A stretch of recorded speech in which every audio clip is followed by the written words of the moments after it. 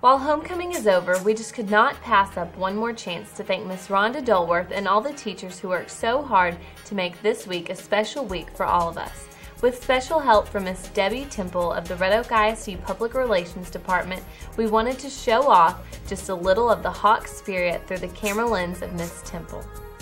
The week was filled with many fun events to show our Hawk spirit, such as Sock Day with the theme Sock It to the Patriots, as well as a College Day, Jersey Day, and of course, Hat Day. The events were also a chance for classes to show off their spirit with a door decorating contest. And to all who took part, thanks for making it a wonderful week full of memories.